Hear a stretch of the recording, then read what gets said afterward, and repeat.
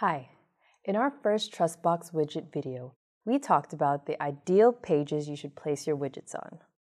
Now, let's take a look at how you can customize your widget and add it to your website. Before we begin, if you're using one of our integrations to collect reviews, you should use it for working with widgets as well. Our integrations make it super simple to customize and add them to your site.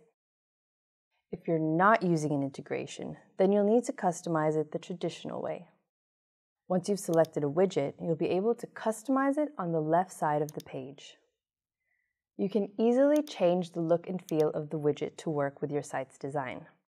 The changes will appear instantly so you'll know exactly what the widget will look like as you configure it. Just play around with all the customization options and see what you can come up with. When you're happy with the settings, the next step is to add the code to your website. There's a couple ways you can do this.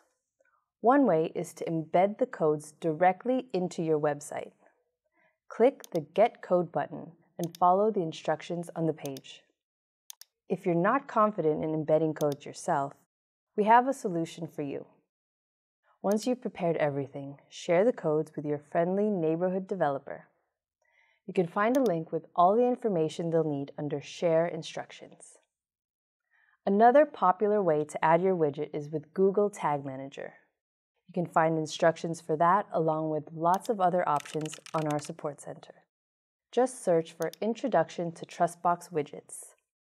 And remember, you can add as many widgets to your website as you wish. That's all there is to it. Now you're ready to showcase your business increase conversion, and attract even more new customers.